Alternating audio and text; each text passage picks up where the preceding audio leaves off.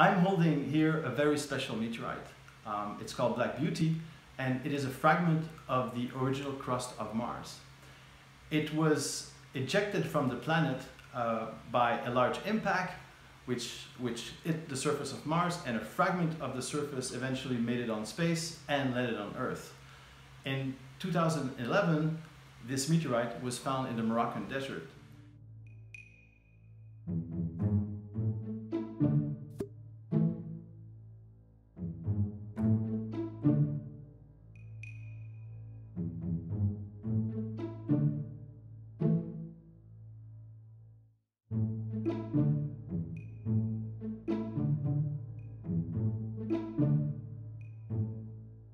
And when we date those minerals and crystals, what we can say is that Mars must have had a, a first um, primordial crust, so the planet must have been solidified by about 20 million years after the formation of our sun.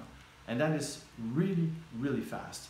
So if the surface of the planet was solid, it means that potentially um, it could have a, uh, an ocean and perhaps life.